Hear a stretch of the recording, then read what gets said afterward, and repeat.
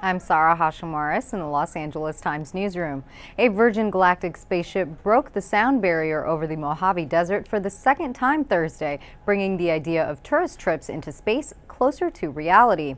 According to a blog post from Virgin Galactic founder Richard Branson, SpaceShipTwo was released at 46,000 feet and burned its hybrid rocket engine for 20 seconds, four seconds longer than the previous flight.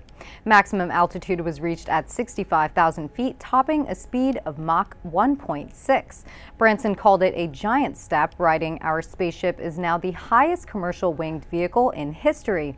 The flight was SpaceShipTwo's first powered flight since its April 29th debut. Virgin Galactic officials have said they hope to kick off commercial service in 2014.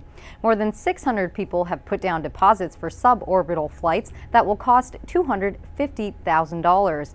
Branson said he and his family will be on board the first commercial flight. Close behind will be Leonardo DiCaprio and Justin Bieber, who have reportedly booked seats for a suborbital tour. For more on this and other headlines, visit latimes.com. And for the latest Twitter updates from the newsroom, be sure to check out at LA Times.